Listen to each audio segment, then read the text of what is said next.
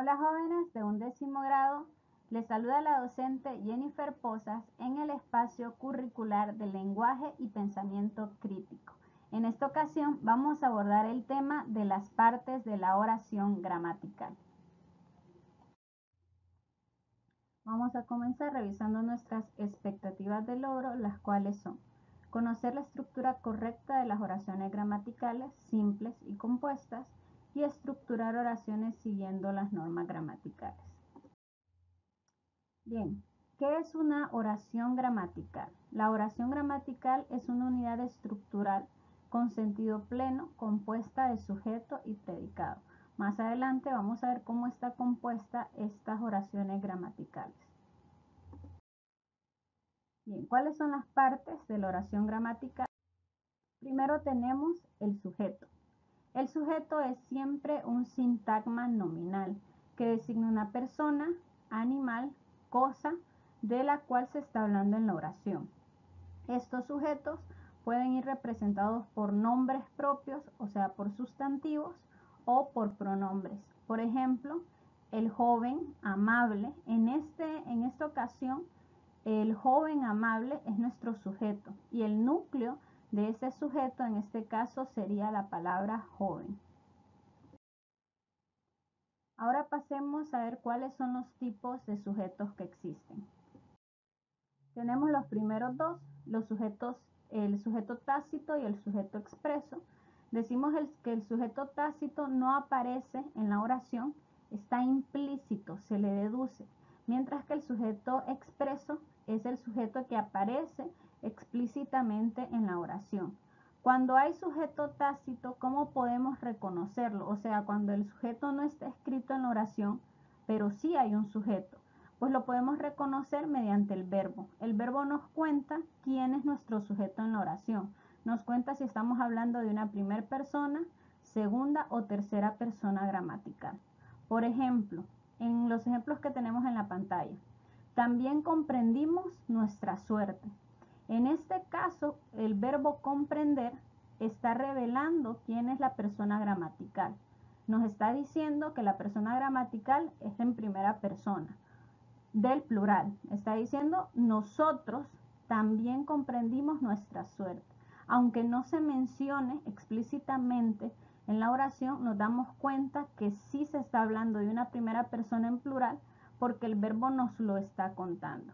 Eh, por otro lado, el sujeto expreso, pues no hay mucho, mucha dificultad para reconocerlo porque sí está escrito en la oración, ya sea por un pronombre o por un sustantivo. Por ejemplo, Edipo Rey supo muy tarde su destino. En este caso nos damos cuenta que Edipo Rey es el sujeto de la oración. Pasemos al sujeto simple y compuesto. El sujeto simple consta de un solo núcleo, mientras que el sujeto compuesto consta de dos o más núcleos. No quiere decir que cuando tenemos un sujeto compuesto es que existen dos sujetos. No, es un solo sujeto compuesto por, eh, pueden ser dos sustantivos o dos pronombres. Por ejemplo, en el sujeto eh, simple, todos los muchachos lograron entrenar un poco.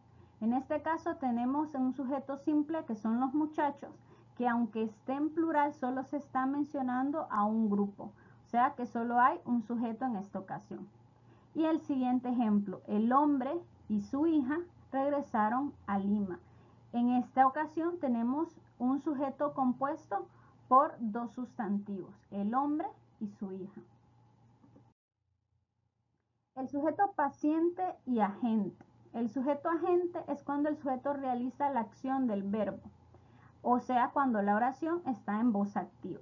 Y el sujeto paciente es cuando el sujeto recibe la acción del verbo, o sea, cuando la oración está en voz pasiva. O sea, por ejemplo, en el ejemplo que tenemos aquí, el certamen fue ganado por el artista.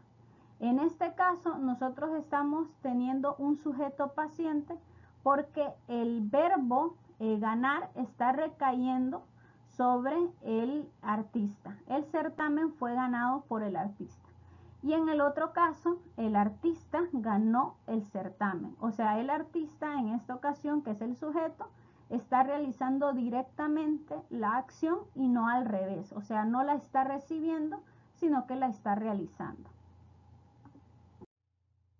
Ahora practiquemos un poco.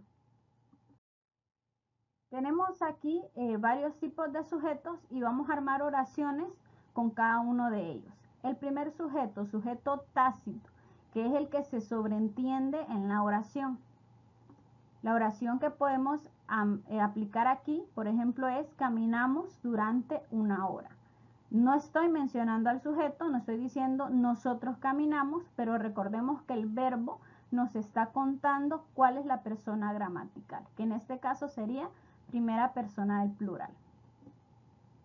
El sujeto explícito es el que aparece en la oración, por ejemplo, María fue al supermercado por verduras. Entonces en este caso estoy mencionando al sujeto tal cual es. Y el sujeto simple es el sujeto donde solo hay un núcleo dentro de la oración. Por ejemplo, Juan corre todas las tardes en el campo. Solo en esta ocasión solo estoy hablando de Juan, un sujeto.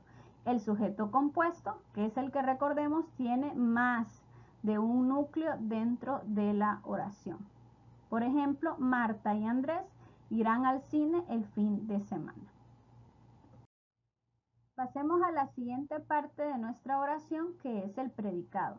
Recordemos que la oración gramatical está constituido por sujeto y predicado, o también llamado sintagma nominal y sintagma verbal. En este caso vamos a hablar de ese sintagma verbal. El, predicado es la parte de la oración que indica qué es lo que hace el sujeto. Se construye con una frase verbal o en casos excepcionales con una construcción nominal o adverbial. Entonces, cuando nosotros hablamos del predicado es donde se encuentra el verbo, o sea, la acción que el sujeto está realizando. Y no solo el verbo, sino que también sus complementos, que los vamos a ver más adelante cuáles son y cuáles son sus funciones. Bien, ¿cuáles son los tipos de predicados que existen? Comencemos a hablar sobre el predicado verbal. Tiene como núcleo un verbo conjugado, es decir, un verbo con accidentes como mínimo de modo y tiempo. Cuando nosotros hablamos del predicado verbal, en otras palabras, es cuando nos encontramos con un verbo que realiza una acción y como mínimo se puede conjugar según su modo, o sea, indicativo, imperativo o subjuntivo y su tiempo, pretérito, presente y futuro. Por ejemplo, ellos aportaron el dinero. El joven dejó la carta sobre la mesa y los jueces han discutido el veredicto. En estos tres ejemplos de estas tres oraciones tenemos tres verbos que realizan acción y además de realizar una acción tienen tiempo y modo. Por ejemplo, la primera oración, ellos aportaron el dinero, tenemos que este verbo está en modo indicativo y en tiempo pretérito, o sea, pasado. En la segunda oración tenemos un ejemplo muy similar. El verbo dejar está en pretérito, o sea, pasado y en modo indicativo. Y los jueces han indicado el veredicto, igual tenemos un modo indicativo en este caso en tiempo presente. El siguiente tipo de predicado es el predicado nominal. El predicado nominal es más corto y eh, más fácil de identificar porque tiene como núcleo un verbo copulativo. Los verbos copulativos son aquellos que cumplen la única función de unir al sujeto con el atributo. Por lo tanto, cuando nosotros nos encontramos con un predicado nominal, el núcleo de este predicado no es el verbo como lo es en el predicado verbal sino que en esta ocasión el núcleo es el atributo, porque recordemos que el verbo simplemente es una unión entre el sujeto y el atributo. Por ejemplo, el gerente es el responsable, mis amigos son los médicos, ellos parecen los administradores. Si nos fijamos en estas tres oraciones, estos verbos únicamente están cumpliendo la función de unir al sujeto con sus atributos correspondientes. ¿Cuáles son los verbos copulativos más comunes dentro de un predicado nominal? Los verbos ser, estar y parecer y todas sus conjugaciones. Practiquemos un poco. Vamos a identificar en las siguientes oraciones qué tipo de predicado poseen. Tenemos la primera oración. Aquellos muchachos vienen acompañados. Tenemos el verbo venir en presente. Recordemos que si el verbo realiza una acción y tiene por lo menos tiempo y modo, es un predicado verbal. Se llevaron los regalos esos desconocidos. Tenemos el verbo llevar en pasado, por lo tanto, el predicado es verbal. Mi verdad es solo una. En esta ocasión, el verbo es ser, por lo tanto, es un verbo copulativo, lo que lo hace un predicado nominal. Por la tarde se perdieron los regalos navideños. Tenemos el verbo perder en pasado y nuestro predicado es verbal. Mis sueños y mis ilusiones están muy lejos. Tenemos el verbo estar, que es copulativo, por lo tanto el predicado es nominal. Esos caminos por donde anduve son un sendero agreste. También tenemos el verbo ser, que es copulativo, y el predicado es nominal. Quien sepa esto es un verdadero sabio. Al igual que la oración anterior, tenemos el verbo ser, copulativo, predicado nominal. Nosotros, los defensores, hemos realizado los cambios. Aquí tenemos el verbo realizar en pasado, lo que lo hace un predicado verbal. Nadie como tú nos ayudará en este problema. Tenemos el verbo ayudar en futuro, predicado verbal. Y por último, nosotros somos los vencedores de aquel memorable partido. Tenemos el verbo ser en plural, que es copulativo, y el predicado es nominal. Ahora pasemos a hablar acerca de los complementos del predicado. Nosotros sabemos que cuando eh, redactamos o estructuramos una oración, no siempre decimos, por ejemplo, Juan corre, sino que a veces hacemos oraciones más complejas donde la parte del predicado tiene más palabras. A eso se le llaman complementos del predicado. Por ejemplo, trajo unos regalos para nosotros en Navidad. Tenemos que todo esto es un predicado porque comienza desde el verbo traer, pero también además del verbo tiene otras palabras que sirven como complementos. Por ejemplo, unos regalos en esta ocasión está sirviendo como complemento u objeto directo, para nosotros como objeto indirecto y en Navidad como un complemento circunstancial de tiempo. Pero más adelante vamos a ver con detalle de qué tratan cada uno de estos complementos. Entonces, los complementos del predicado son aquellos que amplían la información del verbo. Comencemos con el objeto directo. El objeto directo es la frase nominal sobre la que recae la acción señalada por el verbo. O sea, en otras palabras, es aquel que se beneficia directamente del verbo. Tenemos aquí dos oraciones. Los alumnos leyeron un hermoso poema en voz alta. Reconozcamos primero cuál es el predicado. El predicado, recuerden que siempre va a comenzar donde comienza el verbo. En este caso, el predicado comienza desde leyeron un hermoso poema en voz alta. Entonces, tenemos que este predicado tiene complementos. Tiene su verbo leer, pero también tiene el complemento un hermoso poema. Entonces a esto se le llama objeto directo.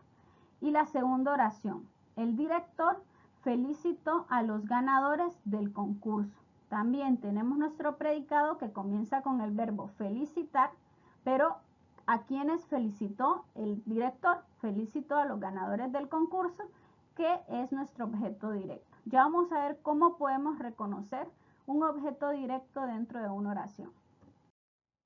¿Cómo reconocer el objeto directo? Nos vamos a hacer primero la siguiente pregunta. Consiste en hacerse las siguientes preguntas. ¿Qué y a quiénes? Le vamos a preguntar al verbo qué es lo que se está beneficiando, eh, de lo que se está beneficiando la acción o a quiénes está beneficiando la acción. El objeto directo también se puede reemplazar por los pronombres lo, los, la y las. Cuando esto sucede, entonces sabemos que en efecto ahí hay un objeto directo. Y el objeto directo funciona como sujeto en la voz pasiva. Pasemos entonces con el objeto indirecto. El, objeto indirecto es aquel eh, que no recibe directamente la acción del, del sujeto, pero también se beneficia de esa acción de manera indirecta. Por eso se llama objeto indirecto. El objeto indirecto es la frase que indica algo destinado al sujeto o que puede beneficiarlo o perjudicarlo. Está encabezado por las preposiciones a o para. Eh, por ejemplo, la madre compró dulces para sus hijos, para sus sobrinos o para todos. En estas tres opciones tenemos que las tres son un objeto indirecto, porque tenemos al sujeto, que es la madre, tenemos el predicado, compró dulces, pongámosle para sus hijos. Entonces, dentro de ese predicado tenemos un núcleo, que es el, el núcleo verbal, que es comprar. Tenemos al objeto directo, ¿qué fue lo que compró la madre? Compró dulces. Ahora nos hacemos la pregunta, ¿para quién compró esos dulces? Para sus hijos. ¿Cómo podemos reconocer el objeto indirecto? Responde a las preguntas a quién o para quién va, va destinada esa acción. Las preposiciones son reemplazables entre sí, es decir, la preposición a puede reemplazar a la preposición para y viceversa. El objeto indirecto puede reemplazar, se puede reemplazar por los pronombres le y les. Y el objeto indirecto no puede convertirse en un sujeto cuando estamos hablando en voz pasiva. Hablemos ahora del complemento circunstancial. El complemento circunstancial nos delimita las circunstancias, por eso se llama circunstancial, en las que se está realizando la acción. En este caso, el verbo se complementa con frases que indican las diferentes situaciones en las que se desarrolla la acción. Estos son los complementos circunstanciales. Ya vamos a ver más adelante qué tipos de complementos eh, circunstanciales existen. Por ejemplo, tenemos aquí, mi amigo trabaja en esta empresa desde las 6. Muy bien. ¿Y por qué? Lo necesita. Entonces tenemos varias circunstancias por las que esa persona trabaja. Ya vamos a ver a qué preguntas responde y dependiendo de la pregunta a la que responda eh, este, esta circunstancia es un tipo. Tenemos eh, cómo reconocer el complemento circunstancial mediante las siguientes preguntas. Cuando un complemento circunstancial es de tiempo, responde a las preguntas, a las preguntas cuándo, desde cuándo y hasta cuándo. Cuando el complemento circunstancial es de lugar, responde a las preguntas dónde, a dónde, en dónde y por dónde. Cuando el complemento circunstancial es de cantidad, responde a las preguntas cuánto, por cuánto y desde cuánto. Cuando el complemento circunstancial es de modo, responde a las preguntas cómo o de qué manera. Cuando es de compañía, responde a las preguntas con quiénes. Cuando es de instrumento, responde a las preguntas a la pregunta con qué. Cuando el complemento es de finalidad o de fin, responde a la pregunta para qué. Y cuando es de causa, responde a la pregunta por qué. Por ejemplo, tenemos aquí, fue puesta sobre la mesa. Tenemos, nos hacemos la pregunta, ¿dónde? Entonces decimos, bueno, sobre la mesa, por lo tanto, ese complemento circunstancial es de lugar. Eh, baila bastante bien. ¿Cómo? Entonces, cuando nos hacemos esa pregunta y nos responde, ¿cómo? Baila bastante bien, entonces es un complemento circunstancial de modo. Eh, estudia para estudiar. ¿Para qué? O sea, su finalidad. Es complemento circunstancial de finalidad para ingresar. O te quiero mucho. ¿Cuánto? Es un complemento circunstancial de, de cantidad. Por lo tanto, yo respondo a la pregunta ¿cuánto? Y es mucho. Practiquemos un poco todo lo que hemos hablado de los complementos.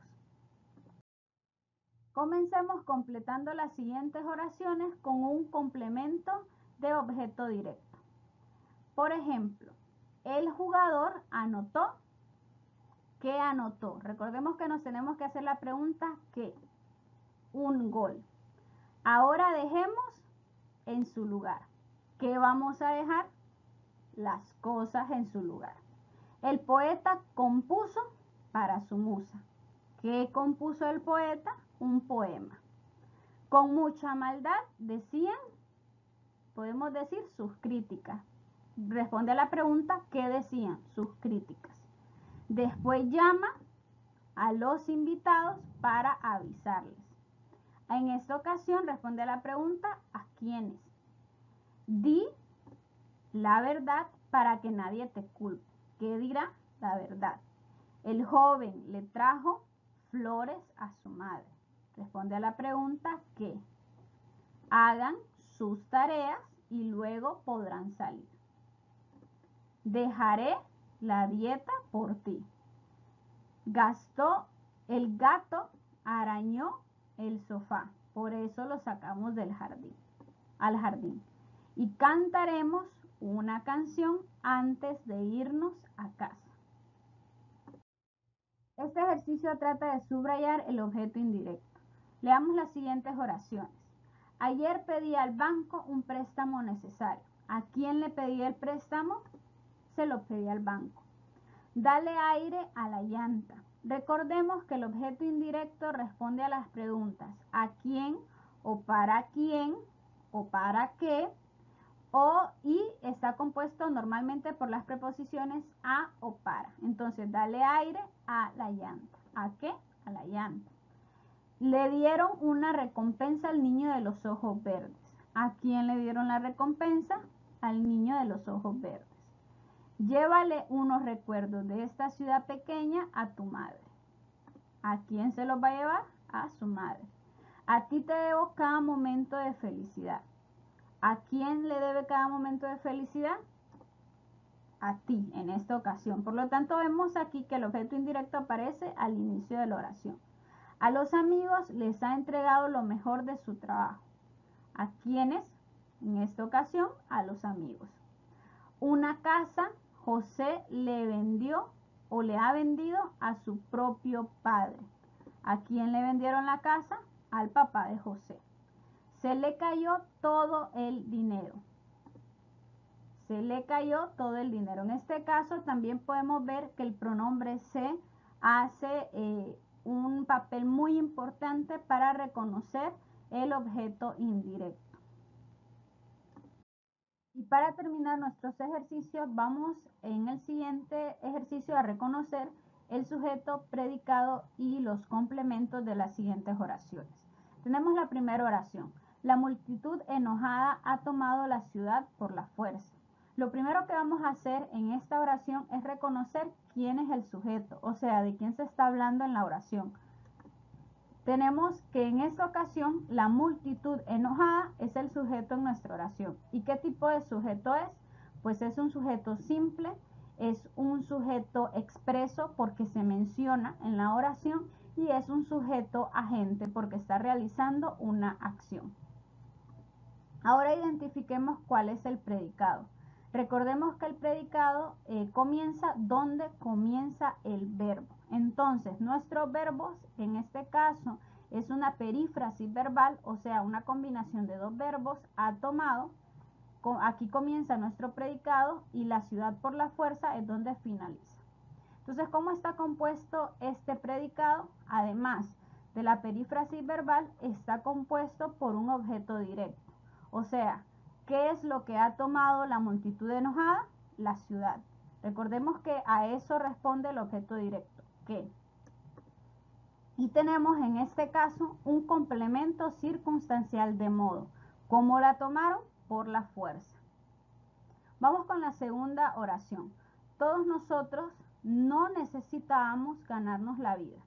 Tenemos al sujeto, que es un sujeto simple, que es todos nosotros, y tenemos nuestro predicado. No necesitábamos ganarnos la vida. Entonces, dentro de ese predicado también tenemos complementos. Tenemos nuestro predicado verbal, porque recordemos, eh, es un predicado verbal cuando se realiza una acción y tenemos un objeto directo. ¿Qué es lo que no necesitábamos ganar?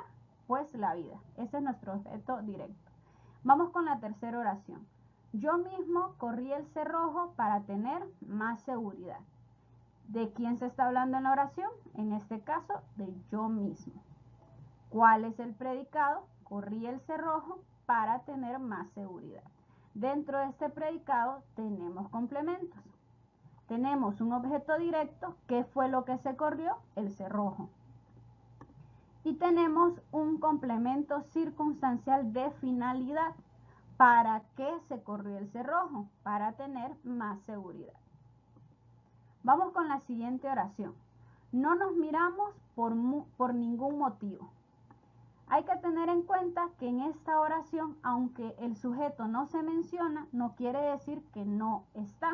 Recordamos que un sujeto eh, no necesita estar de manera explícita en la oración, a veces está de manera implícita. Y cuando sucede esto es cuando tenemos lo que llamamos el sujeto eh, tácito, que aunque no se escriba, el verbo nos cuenta quién es el sujeto. Que en este caso el verbo nos está contando que el sujeto es la primera persona del plural. Ahora, dentro de este predicado tenemos un objeto indirecto, no nos. Nos también indica o también es un pronombre que se puede, eh, el que puede reemplazar al objeto directo e indica ese objeto directo. Entonces tenemos en la otra parte del predicado, miramos por ningún motivo, y dentro de esa parte del predicado tenemos un complemento circunstancial de causa. ¿Por qué no nos miramos? Por ningún motivo. Y por último, la última oración es muy parecida a la primera. No nos expresa el sujeto, o sea, prepararé el cinto de llaves para, nuestra, para la nueva sirvienta. Aunque no se expresa el sujeto, miremos al verbo, prepararé. ¿Qué nos cuenta el verbo? El, el verbo nos cuenta que el sujeto es un sujeto tácito, que en este caso sería yo. Yo prepararé el cinto de llaves para la nueva sirvienta. Ahora tenemos el predicado, que es el que comienza desde el verbo, y dentro del predicado tenemos un objeto directo. ¿Qué es lo que voy a preparar? El cinto de llaves. ¿Y para quién? Para la nueva sirvienta, que sería nuestro objeto indirecto. Bien, repasemos un poco todo lo que hemos hablado. Primero, decimos que la oración gramatical se divide en sujeto y predicado, o sintagma nominal y sintagma verbal. El sujeto es quien realiza la acción dentro de la oración. El predicado es la acción realizada por el sujeto y los complementos sirven para especificar al predicado y la oración en general. Entonces, terminemos con nuestra actividad de aprendizaje que va a ser crear cinco oraciones identificando sus partes, el sujeto, predicado y sus complementos. Bien, jóvenes, gracias por su atención. Espero que este contenido les haya sido de mucha ayuda y muy informativo. Nos vemos la próxima.